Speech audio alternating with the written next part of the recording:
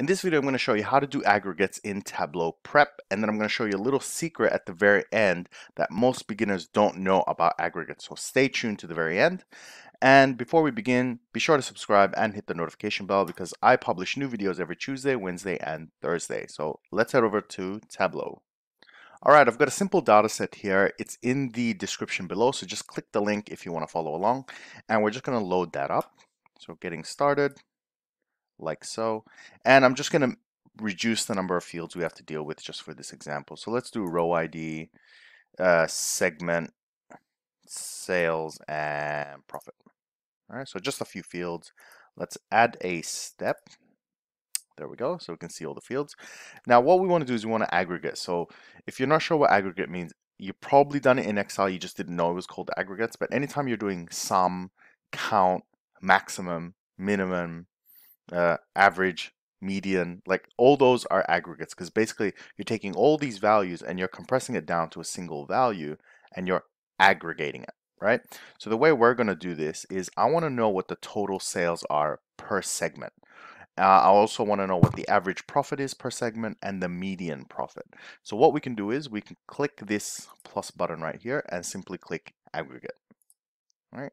And we've got two windows here we're going to be dropping things into. So the first is, let's try sales, and I'm going to drop that into aggregate. And the default is always sum.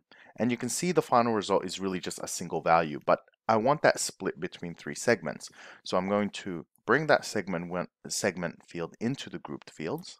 And you can see this is now split up. And then we also want to do profit. So I'm going to bring profit in here. And for this one, we can leave it as sum, but oh, actually, we'll change this to average, right? So whenever you want to change the type of aggregation, you simply just click this one above here, and you can change it to whatever you want. Let's say average.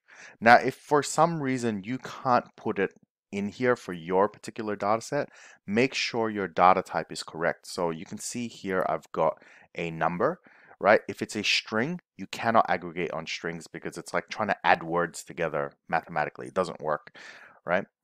And the last thing we're going to do is I also want median. But what you'll find is, well, I've run out of profit fields to use. So what we do is we go back to clean one and we're just simply going to duplicate that field.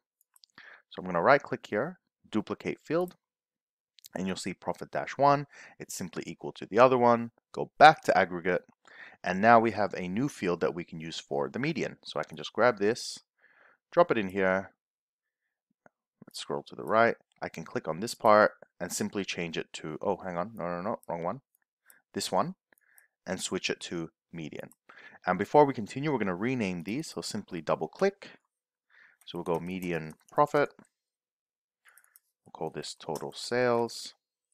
And we'll call this oh, average profit. All right, we're going to add a step, and that's pretty much it, right? So we've we've calculated all those values. I can rearrange these just quickly, right? And we've done the aggregates. Now here is the trick, right? A lot of the times when you calculate this, you want to bring it back into the main data set right? Because you're either calculating total percentages, uh, percentage calculations, right, or relative values or whatever it may be, but it does happen all the time. So one thing you can do is this is my big data set before the aggregation and I want to attach the aggregated results to the very end here, right? And the way I can do that is simply with a join. So I can take this uh, clean 2 and actually go backwards in time, right? And you can see I've got the join. And there we go, we have a combined result. And because the field names are the same, it's going to set that up. Now, if you if you haven't done joins before, that's okay. I've got a video on join, so check the description below for that link, or possibly a card up here that I'll be bringing up uh, near towards the end of the video, if you want to check that out. And then I'm going to do a final step. And let's have a look at the final result. So now I can see we don't need this loss segment. That's a duplicate now right? So for every row, I've got the total sale values, I've got median, and I've got profit, right? If you enjoyed this video, drop me a like. It helps a lot with the uh, with the YouTube algorithm. Don't forget to subscribe and hit the notification bell because I publish new videos three times a week, Tuesday, Wednesday, and Thursday. And until then, have a great day. Bye.